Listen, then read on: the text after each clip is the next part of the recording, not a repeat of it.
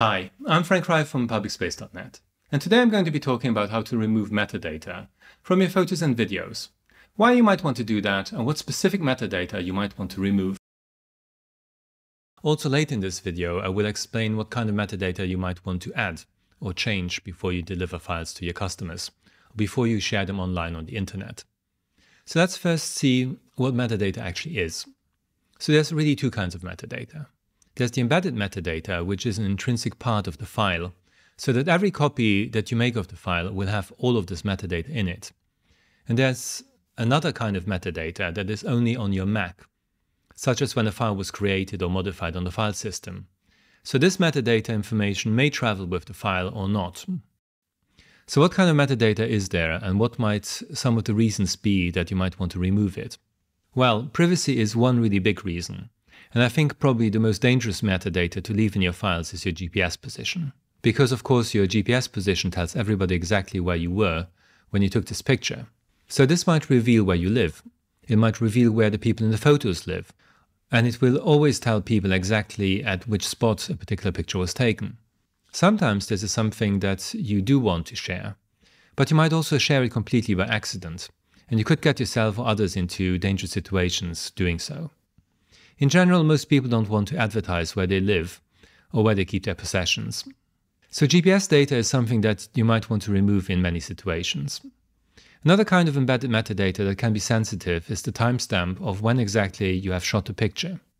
This might reveal things that you don't want to reveal to your clients, such as when exactly you worked on their project, or about your personal routines, such as your school run, etc.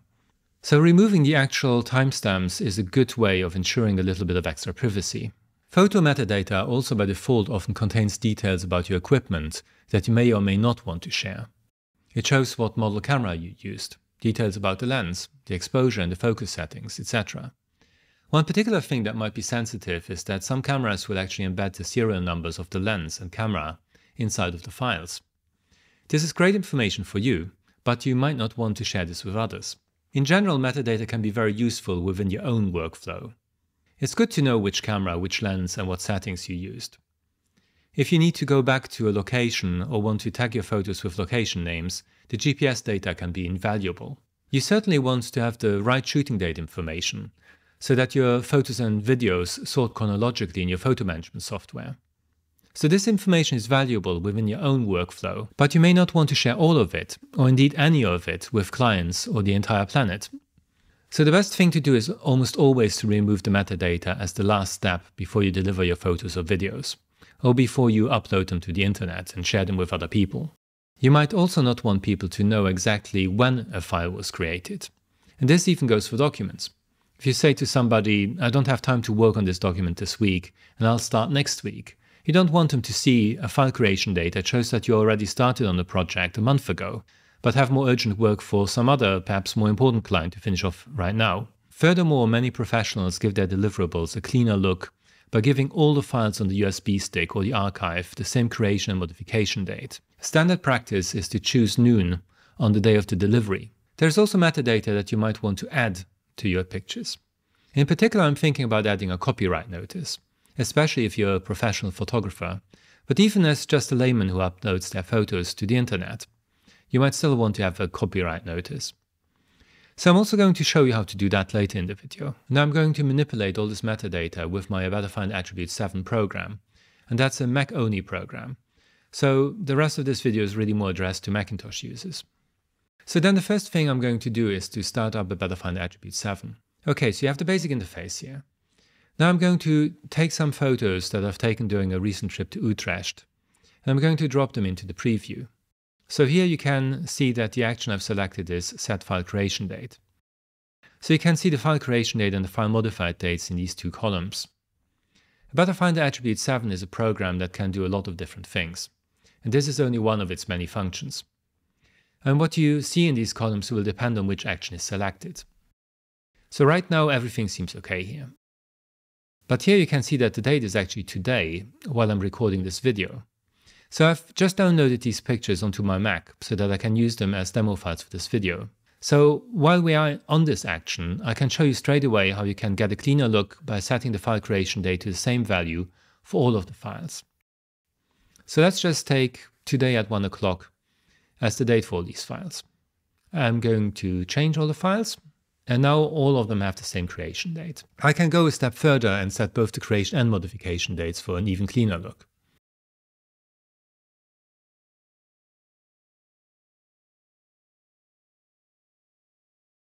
Now when I click onto an image, I get a thumbnail of the image itself, which is the train station in Utrecht. And I get all this metadata here. So what metadata have I got for this file? Here's the creation date on the file system, which I've just changed, the modification date on the file system, and then you see the datetime original here. This is actually part of the EXIF standard that almost all JPEG files, HEIC, and even most RAW photos use. That's the data that is used by a photo management program to know exactly when a photo was taken. The datetime digitized is not set here, because that's normally used for scans. And then the datetime original usually isn't set. But there is a TIFF create date here, which is the same as the datetime original, so we might as well leave it there.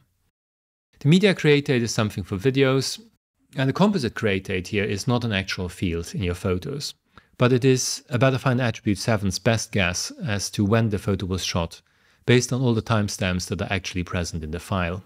In this example, it simply takes the datetime original because that is set.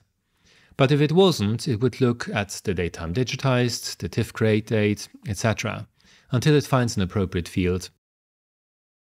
Then there's the version of the EXIF standard that everything is encoded in. Then there's values like the aperture value that was used to take the picture. Then you have some time zone offsets here as well, you have the exposure time, the f number, the focal length, and then you get to the exact GPS position. So this is a picture of a train station. That's not going to move. I don't live there. I don't mind people knowing where it is. But say you're taking a baby picture at home, then this would give away the exact location where you live. Here we have the ISO number. Now in these fields, we can see that this was taken with my iPhone Pro Max camera, and the lens maker is Apple, the phone is the iPhone 14 Pro Max. So I'm sharing all this information now, but it's not the kind of information that I might necessarily want to share if I was uploading this to a photo sharing site or a stock photography site. I might want to pretend that I used a really expensive camera with a premium lens. Or conversely, if I'm feeling a bit shy about revealing how much money I've spent on my gear, I might not want to advertise this. So what kind of things can we do with the Better Finder Attributes? As you can see, we can do things like removing the file creation date or the file creation and modification date. I'll just show you what that looks like. When we set the file dates to 1904, in the Finder they will appear as blank. I can also remove the EXIF content creation timestamp. So that's the when that I want to remove. So here I can say, well, remove the EXIF datetime original, the datetime digitized, the IPTC time and date created, the QuickTime create date, the content creation, and the media creation date. So the last ones are really more for video formats. There's always an explanation of what these are just below them. If I click on perform changes, it will just remove them. So here I get the warning that doing this will actually change the underlying files, and that I should only do this on files that I have a backup for. This is always good advice, even though it is very unlikely that you'll damage your photos. It's still always safer to have a backup. So I'm going to do it anyway here.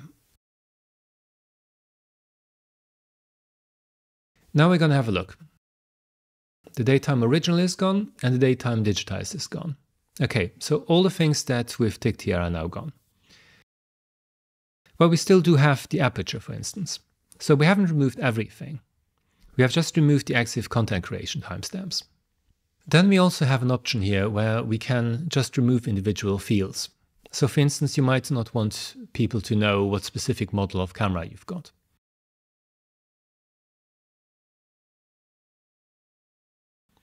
And you might also want to remove, for instance, the aperture value who knows, or maybe the F number, or maybe individual GPS data fields. So you have a lot of choices here. So here we have the serial number as well. So the serial number is something that you probably don't want to leave in there because somebody might be messing around with your warranty, etc.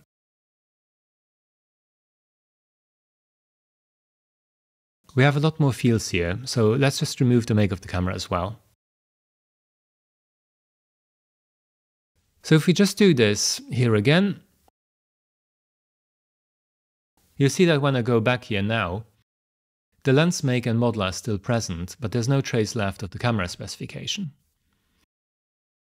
We can also do things like removing the geolocation metadata tags.